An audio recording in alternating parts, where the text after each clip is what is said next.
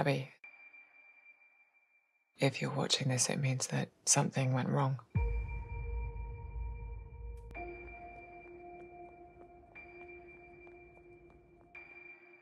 I'm sorry I couldn't tell you. I thought that I could make it all okay. But I was unlucky in what happened.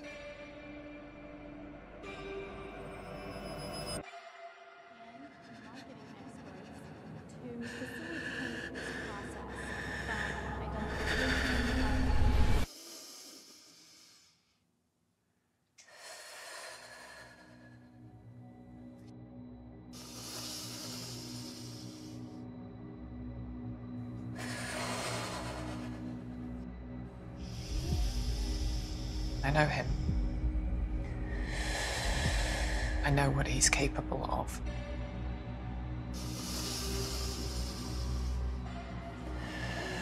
I think you're having an episode.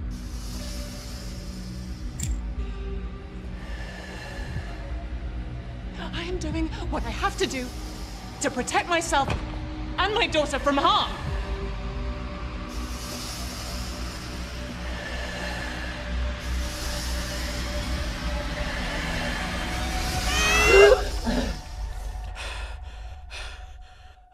It's been 22 years, Maggie.